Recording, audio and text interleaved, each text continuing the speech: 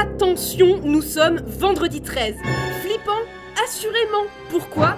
Eh bah parce que, bah... Euh, bah oui, dis donc, ça vient d'où cette histoire de jour porte-malheur au juste? Numéro 1, l'origine vient tout droit de la Bible. Le soir de la scène, vous savez ce moment où Jésus-Christ débriefe ses potes sur ce bail de corps et de sang du Christ là, ils étaient 13 copains autour de la table, Jésus en personne et sa belle bande de 12 apôtres. Le 13e, Judas, est considéré comme le traître, autrement dit celui de trop.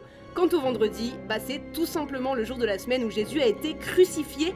Numéro 2, dans la mythologie gréco-romaine, il y a un numéro symbole de perfection et c'est le 12, comme les 12 signes du zodiaque, les 12 dieux de l'Olympe, les 12 lunes de l'année, les 12 heures du jour, les 12 travaux d'Asté d'Hercule, et Vlan, le 13, ce petit bâtard, vient briser l'harmonie de ce chiffre sacré. Vraiment pas cool.